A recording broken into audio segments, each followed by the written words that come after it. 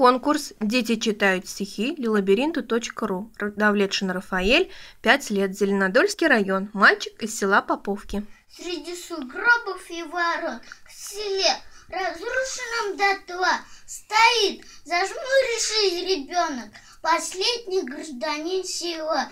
Испуганный котенок белый, обломок печки и трубы. И это все, что уцелело от прежней жизни.